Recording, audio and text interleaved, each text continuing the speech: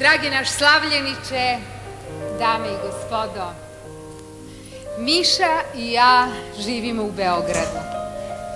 Ruku na srce, Beograd ne spada u najlepše evropske gradove, ali istini za ljubav, ni nas dvoje ne spadamo u najlepše muškarce i žene. I bilo bi prilično neučtivo zahtevati neki lepši grad. Jedva smo i Beograd dobili. Beograd. Mi živimo u Beogradu. Jaka stvar. Živjeti u Beogradu znači udisati smog.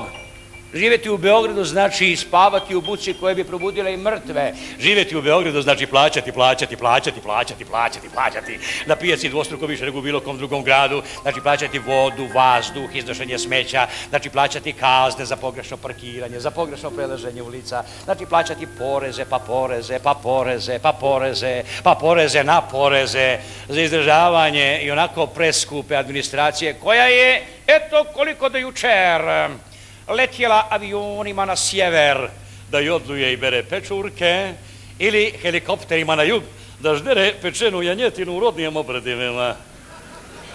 Ali Beograd je u stvari jedan veliki grad familije. Tačno, i zbog te familijarnosti najmanje diskretno mesto na kugli zemaljskoj, Beograd prestonica. Kakva prestonica, odavno nema ni prestol ni kralja. Jo, apropo kralja, imam nešto da vam ispričam.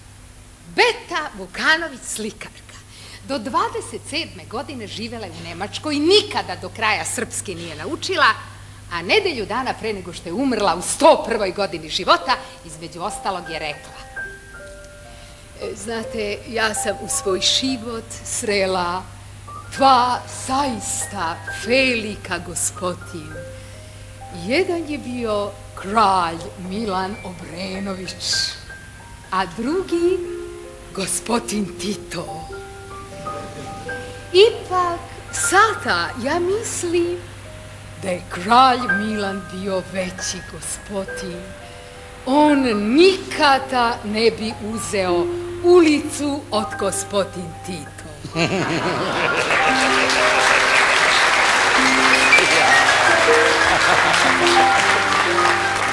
Tipična, tipična Beograđanka ogovarača. Beograđani su najveći ogovarači u Evropi. A zašto da ne, molim vas? Ja zaista ne razumem zbog čega se ogovaranje smatra malograđanskom osobinom.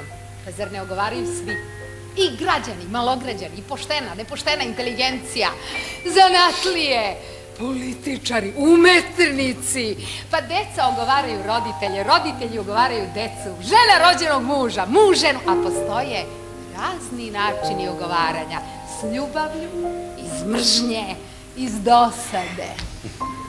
Pa onda neka vrsta filosofskog ogovaranja, da ne pominjem našu najdražu zajedničku osobinu, ogovaranje države. Da, samo što je preskočila neverovatni talenat Beograđana za ogovaranje velikih i značajnih ljudi. Tačnije, u Beogradu ne možete biti čovek od značaja, a da nemate neku manu, pa da ste tica lastavica.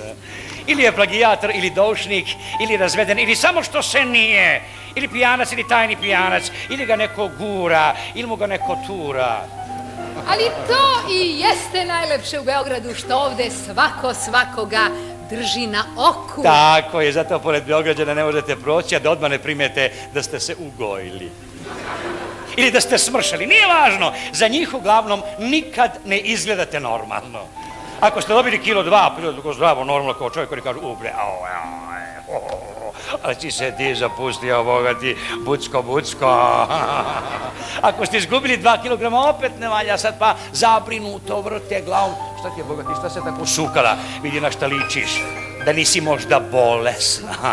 A oni najlukaviji najpre počnu ovako. Danas izgledaš fantastično. Nisam htjela ništa da ti govorim, ali u poslednje vreme si izgledao očaj. Srce moje beogradsko. Kako ti kaže zdravo, odmah ti diskretno upita, a kud si krenuo? Ili doda ono tipično beogradsko, ono, pa onda, ha, ha, ha, ha, kako ste još? Kako ste još? Ali sve to samo dokazuje da Beograđani nisu egocentrični, već da se strasno brinu o svojim bližnjim. Ama Beograđani su... Beograđanka.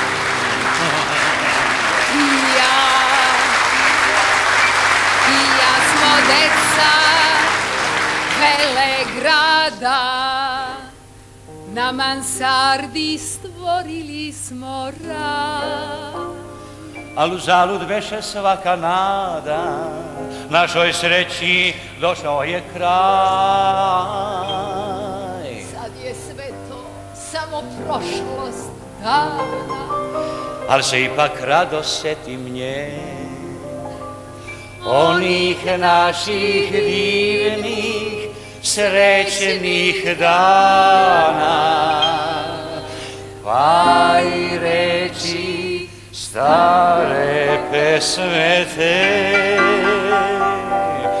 Mansarda mali stan, U sobi mrak, stari sad, kuca tika tak, tik tak, tik tak, kroz prozor mesec ja. Šta traži taj?